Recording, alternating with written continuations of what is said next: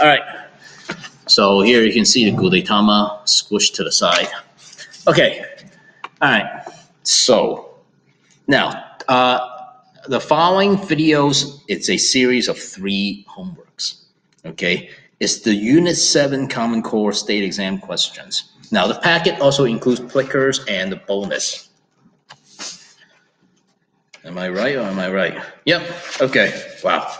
So it's quite a hefty packet. And uh, so I've divided the homework into three nights because they're just, they're just so many questions. All right, so I figured that's the best way to do it. I don't want to overload you guys with homework. Okay, now let's see. Question number one for day one. So you should be looking at this right now. Question number one, day one.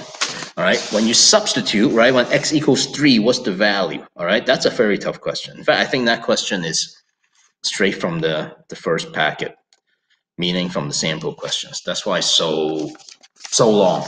Okay, so look, that's the work. So pause and look at it. All right.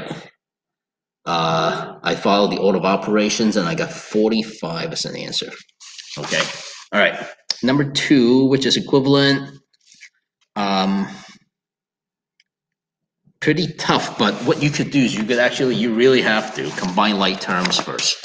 So once I combine like terms, I got 51 minus 3y. And then what you could really do is if you don't know how to factor this expression right here, what you can do is you can just distribute all four of them and combine, and then you see which one matches 51 minus 3y. And in this case, it's choice A. Okay. All right, number three, what goes into the blank so that you get 5x at the end? That should be pretty easy, it's 2x. Okay, that's the third one.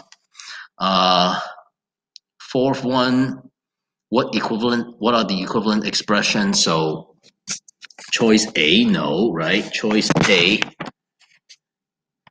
Choice A is 7 times, so this should be 14x and 9x, so those two aren't equal, and neither is B, right? You can't multiply the two coefficients, so it's C.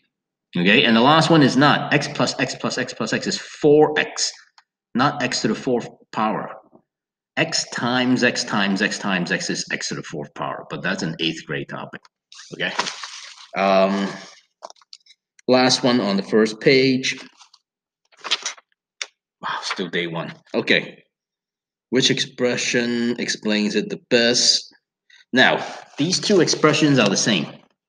So they're saying, well, if I tell you right off the bat that these two guys are the same, then which expressions are equivalent? right? Which statement express. So y is y. Like you can't have y can't represent one value and then another value. So that's why it's choice A.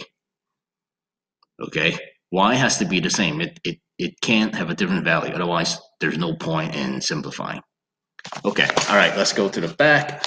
Number six. Uh, you're just solving a very simple equation, all right? You're subtracting decimals. Hopefully you didn't use a calculator because you're not going to get a calculator for this question on state test. So it's choice A, okay? And then number seven, 3.5x equals 49. You're solving for it again, okay? So the questions in the back are easier than, ones, than the ones in the front. Next and last question. Which of these, which of these expressions so which of these expressions, if you put in for x, will give you y? Think about it like that. So for example, uh, for number one, right? 5x will give you y. So 5 times 1. So imagine x is 1. 5 times 1 is 5. Okay, that's fine. But once you go to the second value, where x is 2, it's going to fall apart. 5 times 2 is 10, which it is not here. So that's A is not going to work. Uh, B, x plus 2. So 1 plus 2 is 3. 2 plus 2 is 4. So none of that works for these guys.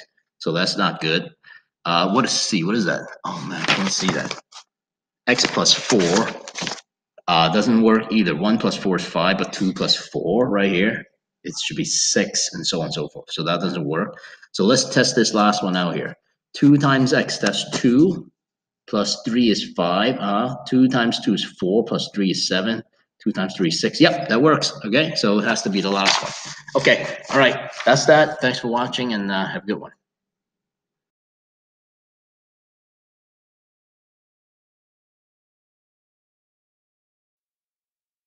OMG, that was so good.